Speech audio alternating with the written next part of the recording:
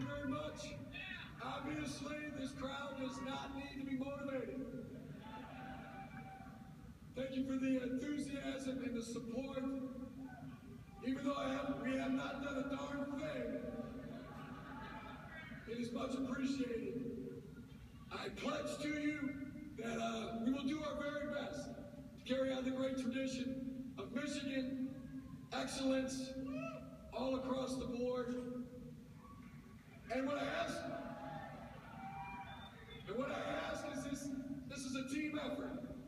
That it's the faculty, it's the alumni, it's the students, it's the uh, student athletes.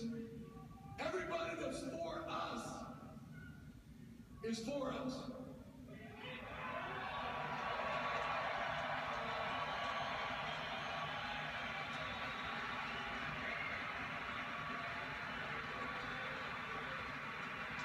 Thank you very much.